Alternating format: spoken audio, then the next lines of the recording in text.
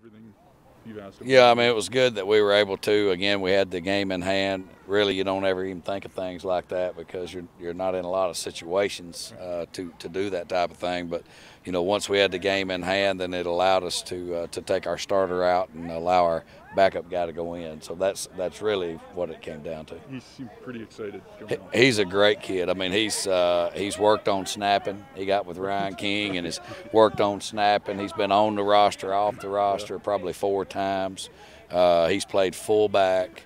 Uh, and he was a quarterback his whole career, both in high school and college. So I mean, he's uh, he's the he epitomizes exactly what you'd say in a team player. It, it seems to me he stuck out for you from day one of that mini camp. I mean, yeah, I, there's no doubt. I mean, and again, uh, you know, we've had to have his spot a couple of times and, and bring in guys and ask him just to kind of, you know, uh, be off the roster, and then if we get an opportunity, we'll bring you back. And uh, things just always seem to work out for him, you know. So the, the number seems to come back where we can add him back to the roster. He told me yesterday he had a couple of sorry, he had a couple of guys advocating for him late in the fourth quarter, uh, saying, you know, let's get him in, let's get him in. Oh well, I mean, and and then J Jack came up to me, you know, and so uh, again, he's an awful good guy. He's a high character guy.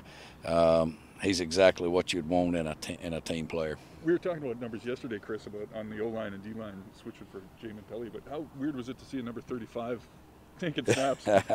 yeah, I don't know if it's ever been done. So it's uh, but he, uh, like I say, he deserved to get in there and uh, and be able to get the snaps that he got. But again, you don't ever think of things like that because again, we're just trying to to win a football game. That's it. You know, that's the thing that uh, that we try to do. And yes, we try to create depth as much as we can when there's opportunities. But uh, again, our main focus is just winning a game second week in a row you've had to make a couple adjustments on the O line. How how difficult is that for everybody? Yeah, I mean, uh, you know, we our old line guy, I call him Cadillac. He's done he's done a great job. You know, all year long we've had guys in and out of the roster, and uh, and it's hard on Mac. You know, Mac's he's like having his his set five in there, and and uh, but our our backup guys have done a real nice job of popping in. And I thought last week, uh, you know, 64, he did a really nice job of of going in and uh, and doing what he needed to do, and then Court at center, moving from guard to center, he made all our calls and put us in the right protections you got a guy stepping in, Andrew, this week's first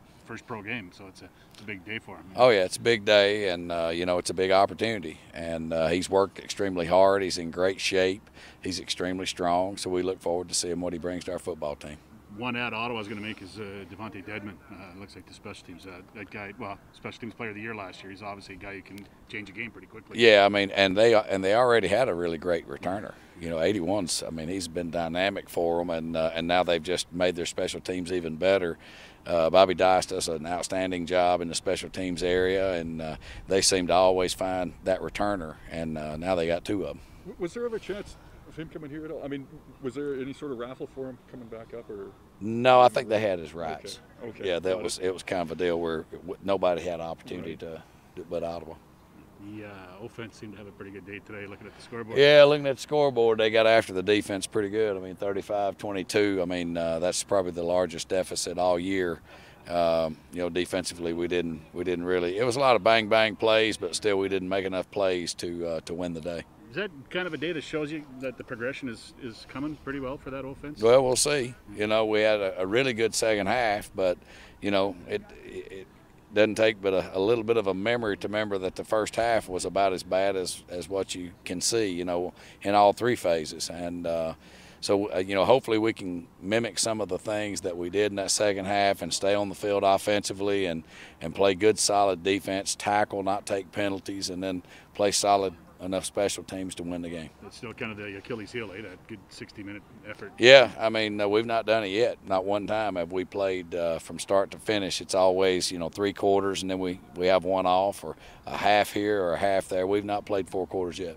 Chris Makonzo has had a couple starts under his belt now. What have you seen from your top draft? Well, Enock's a really good tackler, and he's better around the box than what I anticipated because he's not the largest guy in the world, but – he's very comfortable around those big guys, and he uses tremendous leverage. And once he diagnoses where the football is, he's uh, he's a pretty good tackler in space. How do you like that combo with him and Nyles next to each other, and then obviously Konar on the inside? I mean, oh yeah, that's a I linebacker core you, you probably envisioned earlier yeah. on the season. Well, like you know, I thought that uh, Makonzo would be more of the uh, the boundary the boundary type half or boundary wheel, second down boundary will rotating with Konar, but he's worked himself into an every down player, which is uh, even more than what I anticipated. Excellent. All right, thank y'all. Appreciate it.